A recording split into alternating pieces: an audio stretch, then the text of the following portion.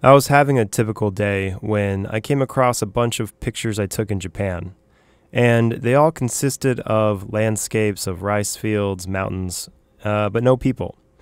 I remember how isolated I really felt there and how it affected me. The line, Can I come back home? just plays into that feeling of isolation and wanting to change the current state of things.